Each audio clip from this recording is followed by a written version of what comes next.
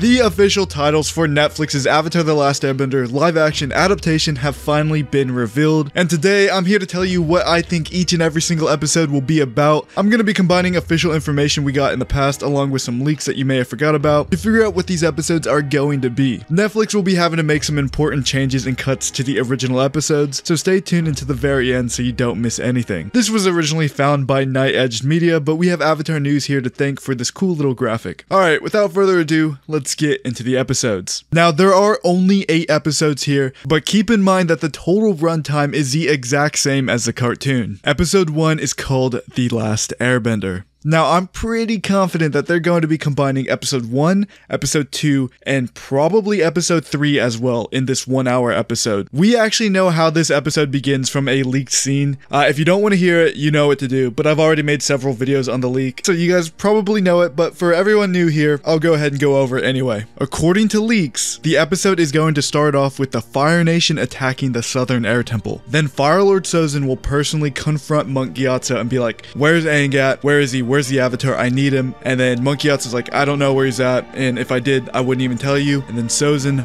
personally ends him. And then we transition into the boat scene that we all know and love. Now, the boat scene was confirmed to be happening. This was confirmed by one of the directors. That wasn't me just making a spicy edit. I know I do that sometimes, but no, that's actually confirmed. But they'll be in their boat, they'll find Aang, and then, you know, we're just gonna go through the motions of the first few episodes. You guys know how it goes. I don't I don't need to explain that. Also, the images that we got last Saturday, uh, Uh, they weren't just promotional images, they are actual screen caps of episode 1. This was confirmed by Netflix themselves. This episode will probably end with them going to the Southern Air Temple and seeing Monk Gyatso dead. What's happening with the world will finally set in with Aang and he's gonna realize that he is the last airbender here. This will also be the first time that we see Aang going into the Avatar state. Now I am actually really looking forward to how they're going to do the Avatar state. Aang's arrow is not a solid blue block like in the cartoon, so it's not gonna glow the same. Aang has designs in it, he has all these fancy things in it, so they can't just do the glowing block, right? Are they only going to have the designs glow, or are they going to have it all glow but the designs be slightly darker? I really don't know, what do you guys think? Episode 2 is called Warriors, and now this episode is fairly obvious. Uh, this will be the Kyoshi Warriors episode. We did learn that Netflix will be expanding upon this episode just a little bit, uh, potentially even adding Kyoshi into the mix here. We were confirmed to be getting Suki's mother as well in this episode.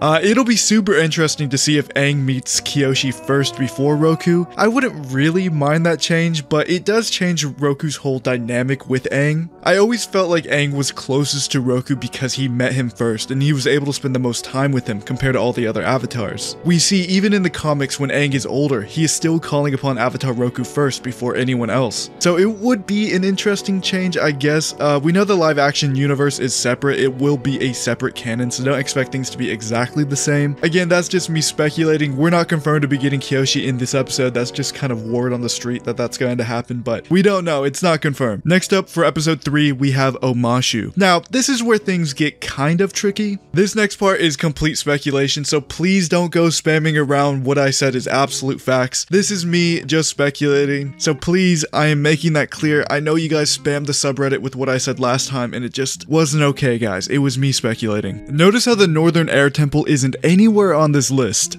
So to me at least, it's safe to assume that they're skipping it. Now here's what I think is going to happen. Aang and everybody is going to Omashu. He'll meet King Bumi and will go through the motions. They may change the whole games thing, I don't really know if that's gonna happen or not. But notice how the very next episode on this list, episode 4, is called Into the Dark. This tells me that something is going to go very wrong. I think something is going to happen, something very unexpected, and the Fire Nation is going to invade Omashu. But this time, instead of Bumi giving it up, they legitimately lose Omashu, and Aang has to see his friend getting captured, and this is why the episode is called Into the Dark. Now here's why it makes sense to me. They get the massive battle from the Northern Water Tribe, and they also make Bumi losing Omashu make sense, because him giving it up and letting his people get imprisoned, it just never sat right with me. It just never did. Also, they're going to be saving money on the VFX because they won't need to do three massive battles in one season. They'll be able to skip out on the whole Northern Water Tribe battle. I don't think their budget is enough to have three full-scale massive war battles. In my opinion, it's better to skip out on one of them to make two quality battles than three mid battles. Next up for episode 6, we have Spirited Away. Now, I think this is going to be the winter solstice episode where Aang meets Roku. The coolest thing about this episode, uh, besides Roku, that is confirmed to be happening is Heibai, the giant panda spirit. That spirit was confirmed to be in the show. I really don't know how Netflix is to make that spirit look real, but I'm looking forward to it. This will also be the first time we ever get to see a Roku in live action form, as the last Airbender movie skipped Roku for whatever reason. And instead of talking to Roku, he talked to a giant dragon head, which was, uh, I don't even know. Episode 6 is called Masks, and they're probably just going to dedicate the entire hour to the whole Blue Spirit episode. Maybe they'll add stuff, maybe they won't. I don't know. Let's move on. For episode 7, we have The North. Uh, again, another safe episode to guess, because this is definitely going to be the gang going to the Northern Water Tribe. I'm really interested to see if Netflix is going to make Katara master waterbending again in three days like she did the cartoon. I know they want to make it just a little bit more realistic than the cartoon, and this has always been one of my gripes that she just became a master overnight after sucking at it for months. It would be a lot cooler to me to see her getting progressively better at waterbending, and then the final tip of the iceberg is her battle with Zuko, and that's where she starts really putting it together. Because you know, battle experience is probably a lot better than practicing some waves in front of a teacher. The final episode, the season finale, is just called Legends. Now, I'm assuming this episode is going to be the full scale invasion on the Northern Water Tribe. Aang will be kidnapped by Zuko when he's in the spirit world. You know, all of that will play out the same, but I'm assuming the past avatars will help him out here, and that's why it's called Legends. Uh, we do know for a fact that Avatar Kuruk has an expanded role in this show. Maybe instead of Roku being like, hey, Koh's over there, and points him in the right direction, instead, it's Avatar Kuruk. Since him and Koh actually share a very dark past together, as you guys all know,